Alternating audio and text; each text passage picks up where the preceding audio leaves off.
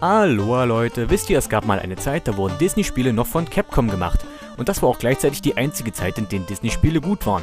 Und dies hier ist nun eines der besten, Chip und Chap, die Ritter des Rechts. Man kann zu Beginn aussuchen, welches der beiden R-Tönchen man spielen will, allerdings macht es rein spielerisch null Unterschied. Ich hätte ja am liebsten den dicken Samson gespielt, aber wenigstens hilft der Dank Käse an manchen Stellen des Spiels aus. Noch effektiver ist aber Sumi.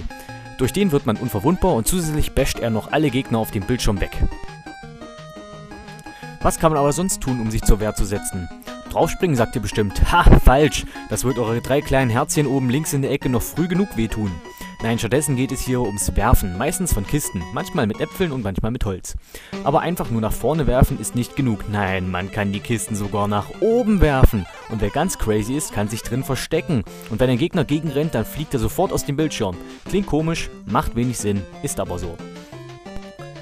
Wo wir gerade beim Gameplay sind. Ich weiß, 2D-Jump'n'Runs gehören zu der simpelsten Sorte Spiel überhaupt.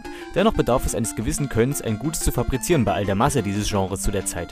Hier ist das zum Glück gelungen. Die Steuerung funktioniert tadellos, es macht Spaß, den Gegnern zu entkommen und ein großer Pluspunkt der alten Hasen bei diesen Spielen sofort auffällt, die Möglichkeit, eine Ebene nach unten zu springen. Glaubt mir, in manchen Spielen wäre man ohne eine solche Funktion komplett verloren. Was auch noch echt cool ist, ist der Zwei-Spieler-Koop-Modus. Den konnte ich gerade mangels zweiten Spielers nicht vorführen, aber eigentlich ist es auch besser so. Einerseits macht es zu zweit natürlich viel mehr Spaß, aber andererseits hilft es nicht gerade, wenn man weit kommen will im Spiel.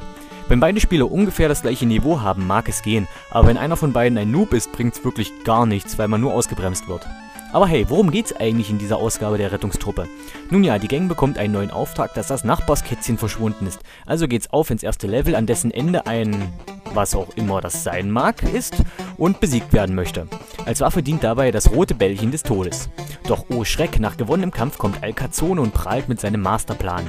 Er hat die Sache mit dem Kätzchen erfunden, um Chip und Chip abzulenken und in der Zeit Trixie zu entführen. Wow, das bringt ihm jetzt zwar eigentlich gar nichts, aber trotzdem können wir Trixie und alle Furry-Fans dieses Internets nicht hängen lassen. Und wenn ihr unter 18 seid und trotzdem wisst, was Furry bedeutet, dann schämt euch jetzt bitte im Kollektiv.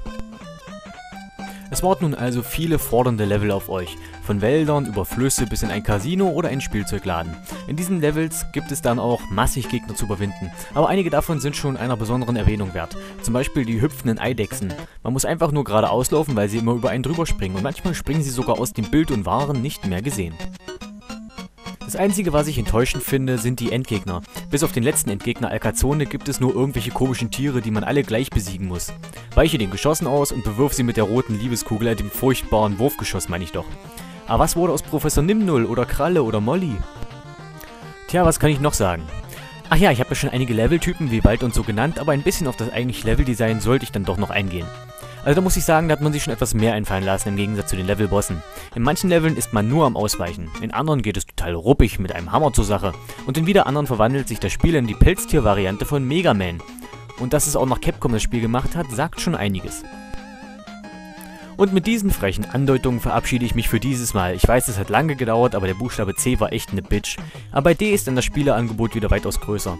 Okay, und das Video war auch diesmal auch nicht allzu lang, aber was willst du auch zu Chip und Chap so lange sagen? Also, bis denne.